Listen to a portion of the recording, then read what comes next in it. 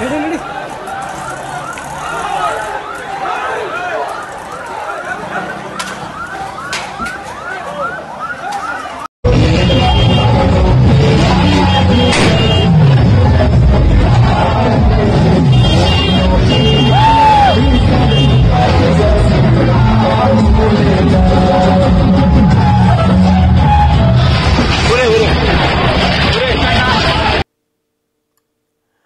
भारत में इस समय हिंदू प्रोसेशंस के विरुद्ध, हिंदू शोभा यात्राओं के विरुद्ध जिहाद चालू है।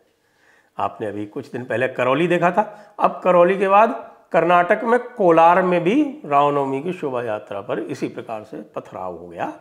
और पथराव कहाँ से होता है? आप सभी जानते हैं, पथराव समुदाय विशेष के यहाँ से होता है।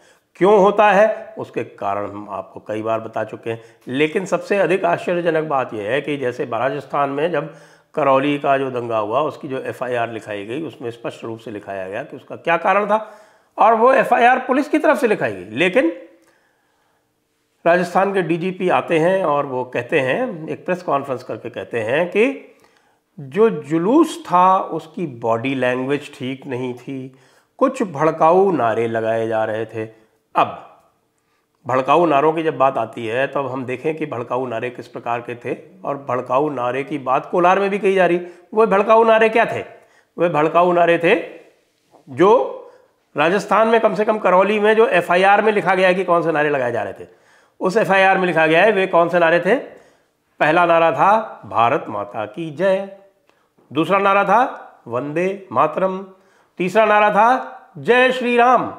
और भड़काऊ गीत चलाए जा रहे थे। भड़काऊ गीत क्या कौन सा? कि राम का नाम बोलो जाओ, बोले जाओ रे भैया, राम का नाम बोले जाओ रे भैया। तो ये अत्यंत भड़काऊ नारा है इसका भड़काने का जो कारण है, भड़कने का कारण है, वो फिर उसमें आपको फिर इस्लामिक थियोलॉजी में जाना पड़ेगा, इस्लाम के मूल दर्शन में जाना पड़ेगा, क्योंकि उस मूल दर्शन के हिसाब से ये सारे कार्य जो है, वो भड़काऊ होते हैं। चाहे वे करौली में हो, चाहे वो कश्मीर में हो, चाहे वो कोलार में हो। काफिर का एक सामने ज़िंदा खड़ा रहना ही एक भड़कने का कारण है इस्लामिक दर्शन के अनुसार।